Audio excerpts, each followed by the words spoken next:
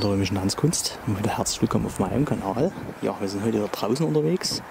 Niedlich, niedliche, hügelige Landschaft hier, wenn man jetzt mal hier rumschwenkt. Das ist schon echt genial, die Aussicht hier oben. Ähm, naja, fast, weil wenn man jetzt mal hier hinten ranzoomt, hinten haben wir die sächsische Schweiz. Und da sehen wir, dass es dort hinten ganz schön mulmig ist. Das liegt einfach daran, weil momentan dort ein schwerer Waldbrand ähm, ja, herrscht, so drücke ich es mal aus. Und das seit Tagen dort nicht äh, gelöscht werden kann. Ähm, das ist natürlich nicht so schön. Dass man das von hier oben sieht, hätte ich nicht gedacht. Aber auch wiederum ein interessantes Bild. Ja, und wir werden jetzt mal hier weitergehen. Ähm, hier gibt es wohl eine ganze Menge ältere Brücken, die wir uns anschauen wollen. Und äh, hier ist auch gleich ein Denkmal in der Nähe. Das schauen wir uns mal gemeinsam an. Jo Leute, hier haben wir gleich das Denkmal. Das gucke ich mir gleich an. Ähm, gehen wir mal hier ran. Soll wohl ja, zu Ehren der Gefallenen des Ersten und Zweiten Weltkriegs sein, wenn ich das richtig gelesen habe. Dann schauen wir mal zusammen, ob das auch so ist. Ähm ja, ist auf alle Fälle auch schon älter, das Denkmal hier. Das sieht man an der ganzen ja, Bewegung hier. So. Und zwar hier haben wir es hier, Senken in den Tod im Wels, Weltsturm, unbesiegt.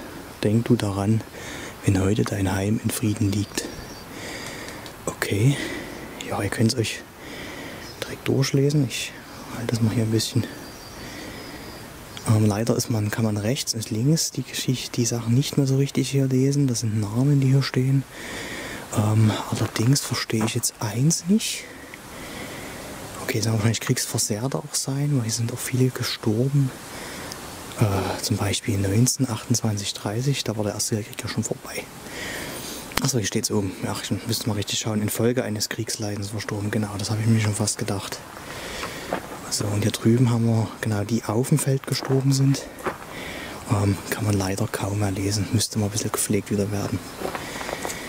Ja, und ich vermute mal, dass man die, den, diese Säule hier von der Bauart her nach dem Ersten Weltkrieg gebaut hat und dann sozusagen jetzt neu nach dem Zweiten äh, Weltkrieg, also nach schon lange her, aber jetzt auch noch sozusagen ähm, ja, daran hier mitgedenkt.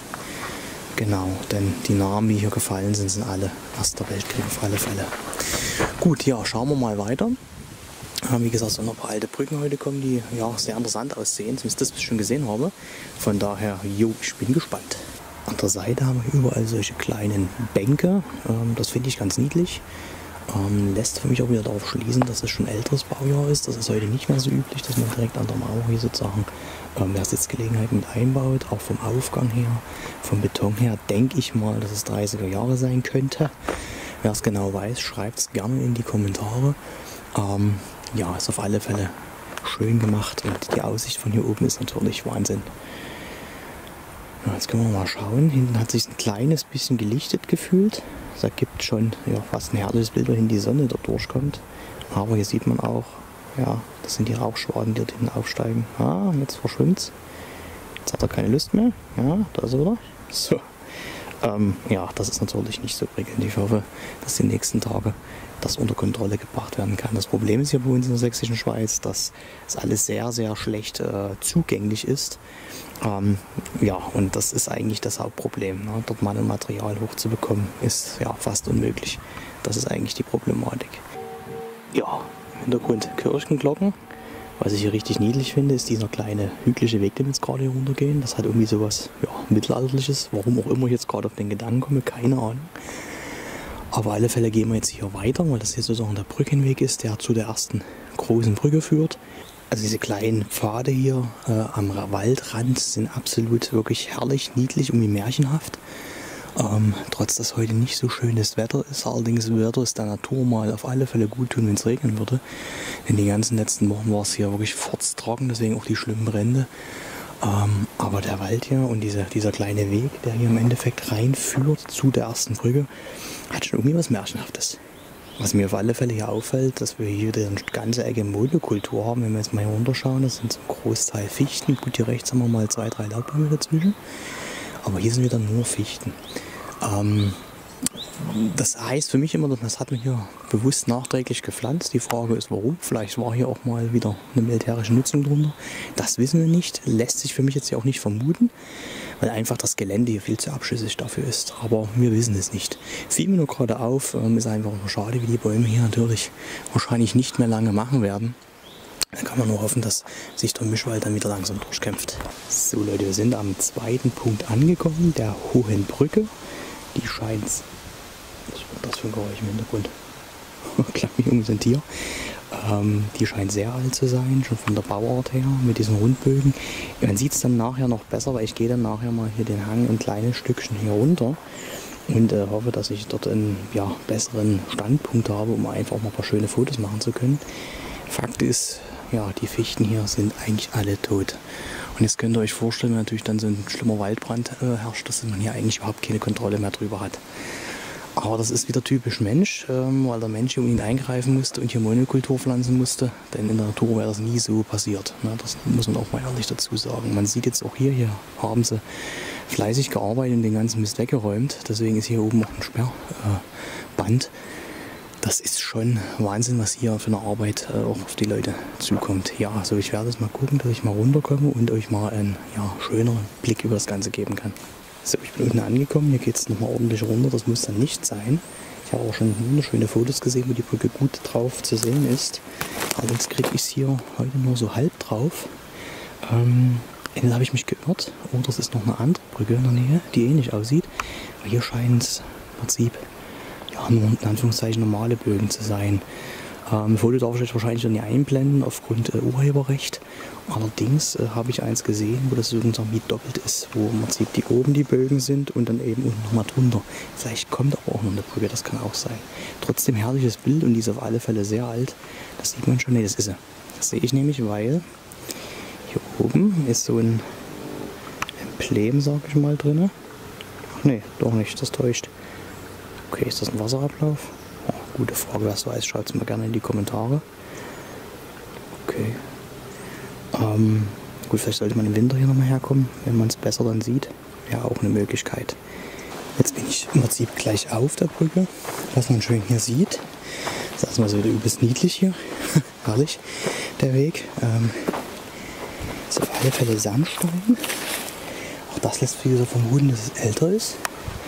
Jetzt können wir mal gucken, ob wir diesen Auslass das ist für Wasser gedacht, oder ich denke. Warum auch immer.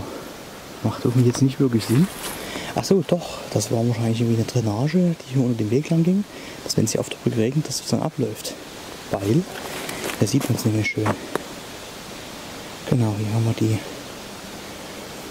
Einbuchtung dazu. Aha, dass das Wasser hier nicht auf der Brücke bleibt. Interessant. Ja, herrliche Aussicht von hier, wenn die toten Bäume nicht wären. ja, wir gehen jetzt ein Stückchen hier weiter, weil der Weg heißt Hohe Brücken. Also vermuten wir, dass noch mehr Brücken hier natürlich sind. Würde uns freuen. Was mir hier auffällt, das stehen wir auch hier auf so einer, pff, naja, Brücke ist übertrieben, weil es ist eigentlich wie eine Art Wegbegrenzung nur. Hier liegen aber auch wieder Sandsteine, die hier scheinbar gefühlt auch mal hier reingingen in den Busch. Wahrscheinlich war hier mal ein Weg. Auf der anderen Seite haben wir hier aber auch Sandstein. Und das ist konkurrent mit dem anderen hier. Also ist das hier auch mal wieder eine kleine Mini-Brücke gewesen. Vielleicht ging hier mal ein kleines Bächel durch oder irgendwas. Schon interessant. Jetzt haben wir auch wieder hier Gestein hier, ja, was hier wahrscheinlich mal wieder als Weg angelegt worden ist. Hm.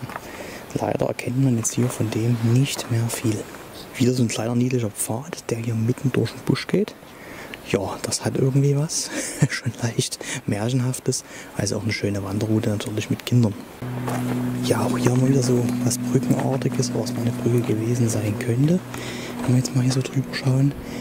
Allerdings ist hier kein Wasser mehr. Also es kann natürlich sein, dass das früher mal ein total niedliches Tal war, hier mit verschiedenen kleinen Bächlein und dass sich das dann unten wahrscheinlich in einem größeren Bach einem kleinen Fluss wahrscheinlich gemündet äh, hat. Aber ja, hier ist leider nicht mehr viel davon übrig. Das ist alles hier trocken. Ähm, und ja, das ist natürlich schade ja, warum auch immer, entweder ist es mal still trockengelegt worden für, aus irgendwelchen Gründen oder ja, ist das einfach hm, der Wandel der Zeit jetzt hier? Gute Frage, was weiß, schreibt es gerne in die Kommentare. Da drüben ist auch eine kleine Brücke, das ist allerdings noch eine Ecke um die Kurve, eine Ecke um die Kurve, eine Runde um die Kurve, weil ich jetzt mal hier vorfilme, haben wir die nächste Brücke. Und hier sieht man auch schön, dass hier mal ein kleines Bächel oder was durchging. Aber auch hier alles furztrocken ist. Das ist natürlich wieder schade. Gehen wir weiter. Wir haben auf alle Fälle hier überall Wurzelgeflecht an der Seite. Und der Weg scheint auch hier untermauert zu sein. Aha. Also ich denke mal, der ganze Pfad hier ist wirklich schon sehr alt. Ähm, ja, gerade weil hier alles noch aus Sandstein gebaut ist. Ist man heute eher weniger, vor allem mit, bei dem Pfad mitten durch den Wald. Auf alle Fälle haben wir hier auch Metall drin. Hier muss mal irgendwas Metallenes gewesen sein. Vielleicht mal hier mal ein Geländer dran. Hm. Wie auch immer, ist auf alle Fälle sehr interessant. Schade, dass es hier alles so trocken ist. Das war bestimmt mal hier ja, ein herrliches, herrlicher Talrundweg mit kleinen Bächen und Sachen. Hm. Aber wenn man jetzt mal schaut, hier ist alles verwachsen und Wasser, wie gesagt, null. Auf alle Fälle haben wir hier sehr schöne, große, alte Buchen auch stehen. Drei Stück an der Zahl. Zwei, drei. Die sind schon einige hundert Jahre alt. Wow, also das ist schon eine richtig schöne Bäume. Na gut, die können sich ja gut entfalten an der Brücke, weil sie hier keinen anderen Baum oder irgendwas in der Nähe hatten. So, jetzt bin ich hier an der Anführungszeichen ersten Brücke, die ich in der vorigen Aufnahme hatte. Wieder ähnlicher Baustil, wieder in diesem Sandstein gehalten. Auch hier wieder zu erkennen, dass hier mal einen kleinen Bachlauf irgendwas lang gegangen sein muss. Aber auch hier, dass der ist schon lange trocken, das sieht man. Ja, schade. Das ist natürlich jetzt die Frage, warum das so ist. Also das würde mich echt mal brennend interessieren. Wer das weiß, schreibt das gerne mal in die Kommentare. Keine Mutmaßung, sondern wirklich wissen. Vielleicht wohnt ja jemand in der Gegend und weiß das. Hier was drin stehen. Kann ich nicht entziffern. I, Z, I. Könnte sein. Ha, wissen tue ich es nicht. Ach nee, es könnte auch ein Kasten und durchgestrichen sein. Gute Frage, wer das auch das weiß, wie gesagt. Tut es uns gerne ähm, allen kundtun. So, ja, jetzt gehe ich mal den Weg weiter. Ich finde find ich auch überall diese Wurzel, Verwurzelung am Rand. So, ja, wir werden jetzt hier dann gucken, dass wir einen kleinen Rückweg, sag ich mal, finden, weil die Wege doch ziemlich weit dann scheinbar gehen bis in die nächsten Ortschaften. Wir keine Lust haben, natürlich hier Landstraße zu laufen. Ähm, ich muss mir echt sagen, ich finde den Wald jetzt bis auf die Fichten oben sieht extrem gesund aus. Ähm, es hat irgendwie so was Märchenhaftes, Verwunschenes hier irgendwie. Also ich finde das total niedlich hier, auch die ganzen kleinen Wege. Also wunderschöne Wanderweg hier, eben auch gerade mit Kindern. Die können natürlich hier gucken, schauen äh, und ja, finden. Es sind noch eine ganze Menge Vögel unterwegs und äh, ich habe vorhin auch irgendwie ein kleines äh, Eidechse oder irgendwas gesehen. Also hier scheint der Wald bis auf die Fichten echt gesund noch zu sein. Das freut mich. Und wenn wir jetzt hier auch mal das Wurzelwerk angucken, das sieht schon geil aus. Ja, wir gehen jetzt mal hier weiter. Der Pfad wieder so schön verwunschen hier um die Kurven rum.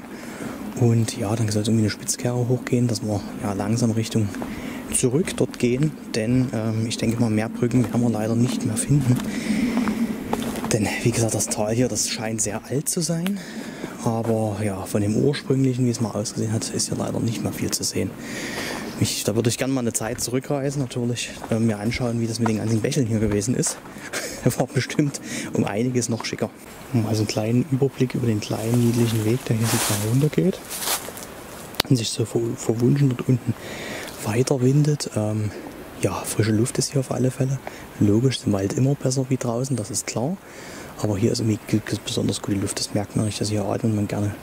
Ähm, und irgendwie habe ich so ein bisschen Déjà-vu gerade an meine Kindheit, warum auch immer.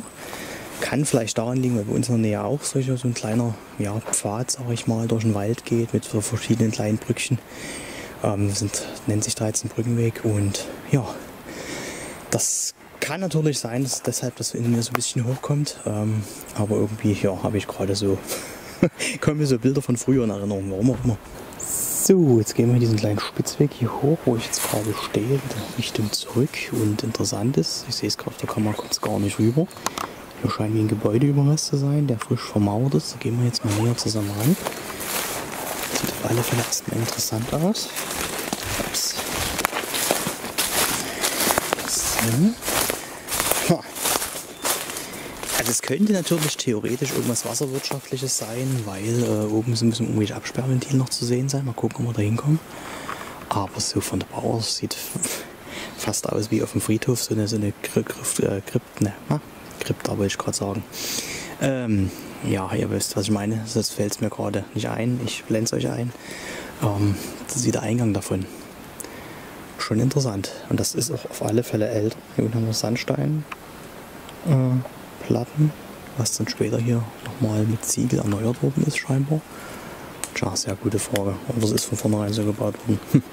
Was weiß, schreibt es gerne in die Kommentare. Allerdings ist das hier so abgelegen, dass es wahrscheinlich nicht viel Information darüber geben wird. Auf alle Fälle ist das jetzt ziemlich frisch vermauert. So, jetzt haben wir hier den Schacht zu. Hier ist ein Abwaschventil drin. Also kann es sein, dass es irgendwas Wasserwirtschaftliches mal gewesen ist und die jetzt wahrscheinlich zugemauert haben, weil es sich erledigt hat. Gut, hier ist ja auch nicht wirklich warm Wasser. Könnte sein, hier war auf alle Fälle auch mal ein Deckel drauf, der hier, hier rausgeplatzt oder weggeflext worden ist. Oh, interessant, auf alle Fälle ist auch der Schacht, die Abschwörventile uralt. Jetzt kann natürlich sein, dass das hier vorne zur gleichen Zeit gebaut worden ist.